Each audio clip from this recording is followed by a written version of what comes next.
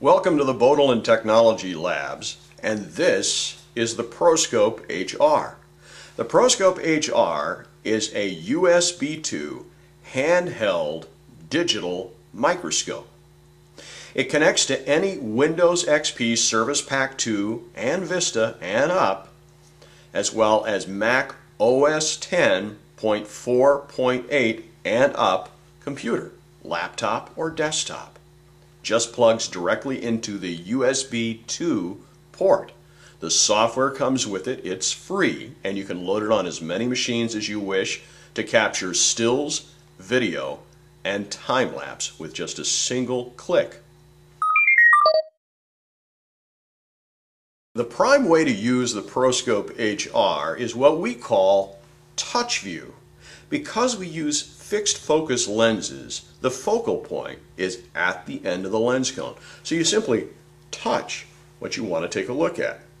Now you can adjust this to distance view where I can move the lens clockwise and now the focal point is still out here but I've shortened the lens cone so now I have a little bit of a distance to work with, about a half an inch.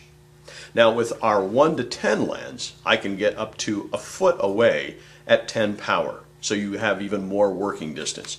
But primarily you're going to be using this touch view with the lens cone fully extended or counterclockwise on the 50 power. You just simply touch what you want to take a look at. Same thing with the other lenses. You just simply hold it against a shirt or any flat object and adjust that black lens cone at the end so it comes into focus. Then you can snap stills, video, and time lapse. When working with the ProScope at distance view, it's best to use the ProScope stand.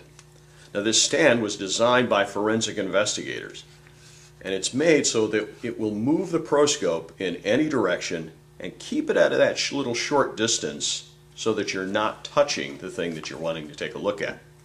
The ProScope has, HR has two tripod mounts, so you could actually use a little small camera tripod if you'd like, or you can attach it to other devices that have a tripod mount. But primarily, we use the ProScope HR stand.